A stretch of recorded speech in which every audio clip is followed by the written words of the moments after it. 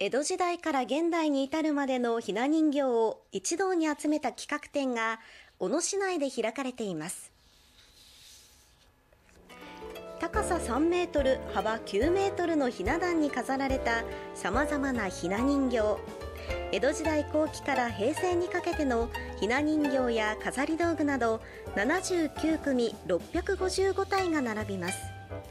小野市の考古館では施設周辺が江戸時代小野藩主の一つ柳氏が築いた陣屋町で栄え武家や商家のひな人形が数多く残されていたため30年ほど前から収集を始め2012年から企画展ビッグひな祭りを開いています。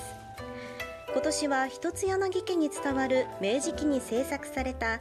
段飾りのひな人形も初公開しています。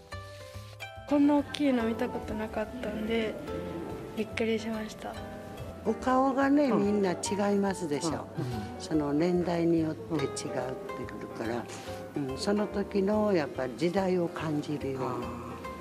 うにお稲様が一番こう魅力があると。